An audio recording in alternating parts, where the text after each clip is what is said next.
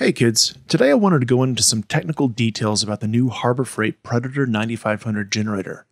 These are really great units that are extremely popular and tend to sell out quickly, often in less than a day or so when they come into stock. So if you see one of these and you want to get it, you better jump on it quick. So why are these so popular? Well, to start with, they're inverter generators, which means they're making their power electronically versus just directly tapping into the generator windings. This means the power is clean and it's totally safe for electronics. This also means that you can run two or more of these units in parallel to double your output, because the same electronics that are making that clean power can also match the frequency of another connected machine. And even better, since unlike regular generators, the frequency of the power is not tied to engine speed. So this allows the generator to slow the engine down when the energy loads are lighter, resulting in significant fuel savings, much quieter operation, and longer run times. Now, inverter generators are fairly common, but what makes these more unique is that they can produce 240 volt power, allowing you to safely run your major appliances like stoves, dryers, or central air conditioners. And when those loads kick in and strain the generator, unlike conventional generators, the quality of the power is still extremely good.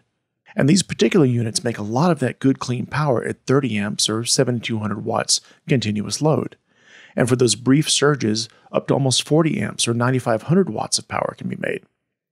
Now run two of them together, and now you've got 60 amps of clean power at your disposal with surges up to around 79 or 80 amps.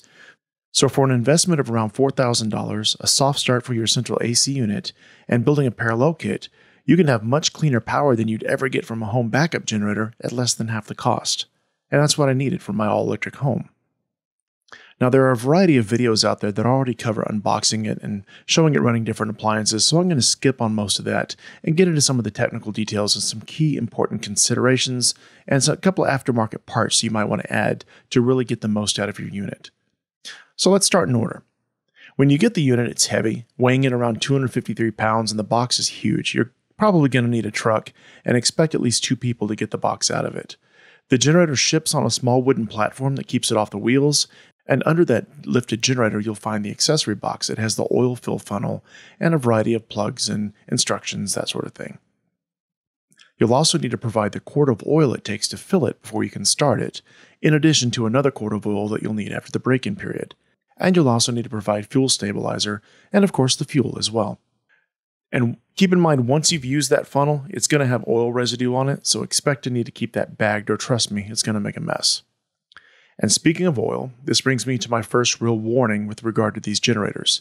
Get a magnetic dipstick, or if you really don't want to spend the 30 or so dollars to protect your $2,000 generator, at a minimum, put a really strong magnet under the area where you fill the oil. And here's why.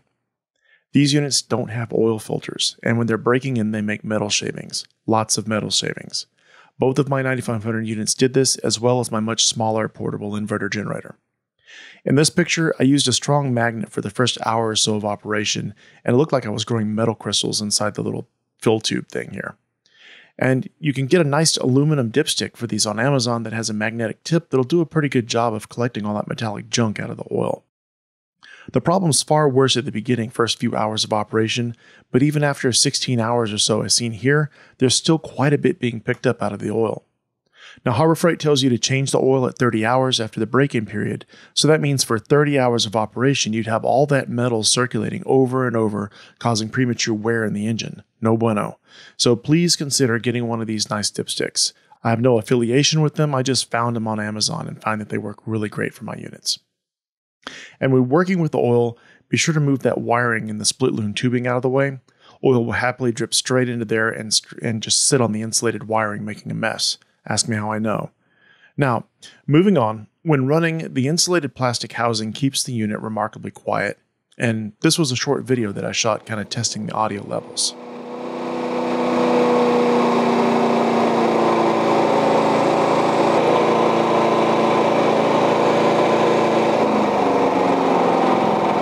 In eco mode,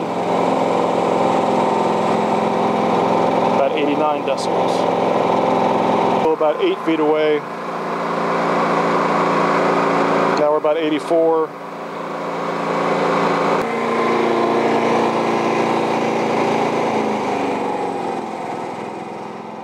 So eight feet away, we're looking at almost. So we ended up finding that the Harbor Freight spec of 67 decibels was indeed accurate. if measured from around 25 feet away, and the unit was throttled down in eco mode.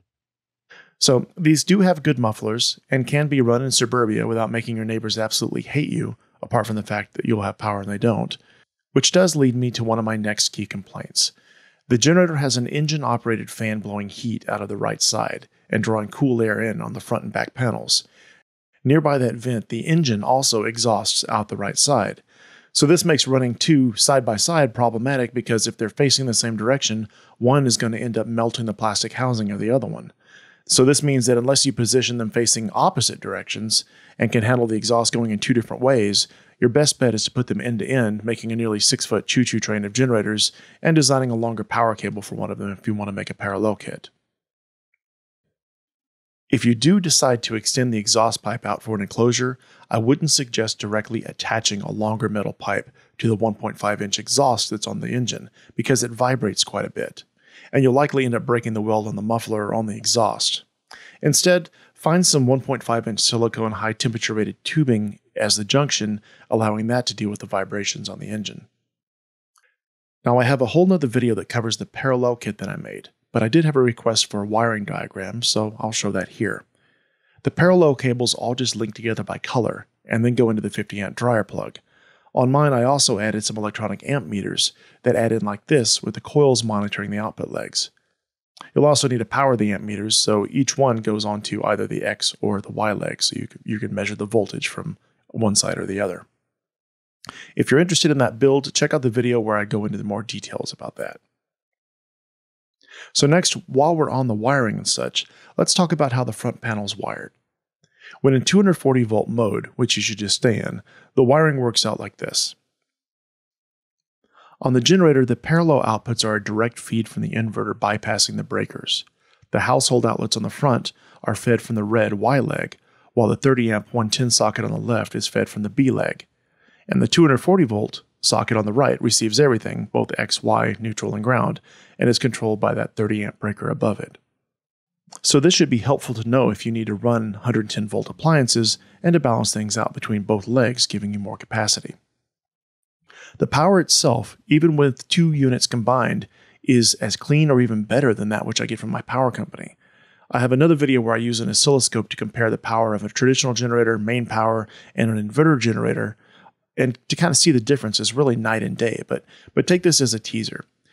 It's some really nice clean power, and even with heavy loads hitting it like my stove here, or even the central air conditioner seen here. And should you overload the generator, or if it accidentally shuts down while under load, such as if you happen to run out of gas, your power doesn't go crazy like it does with a normal generator, it just cuts to zero at the end. So you don't have to worry about your whole house getting surged or electronics getting fried. So one of my other questions was, does the built-in battery get charged while the generator was running? I assumed yes. I mean, the thing's making power. You'd think it would charge the battery, but I wanted to confirm that. So I did find that the battery would go up from 13.35 volts up well past 14 while it was operating.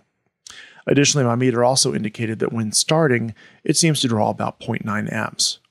I guess my final tip would be to pick up a pack of these magnetic sockets for your drill or impact driver. Harbor Freight calls them nutsetter bits, and for $1.99, the 8mm one in particular will make your life far easier, as it seems every single bolt on this thing matches that one for removing the covers and accessing panels. It's a perfect match for that size. So keep an eye out for the oscilloscope power quality comparison video, as well as one on my AC soft starter, and one on how I did my generator inlet hookup. So I hope that helps you guys out, and let me know if you have any questions in the comments.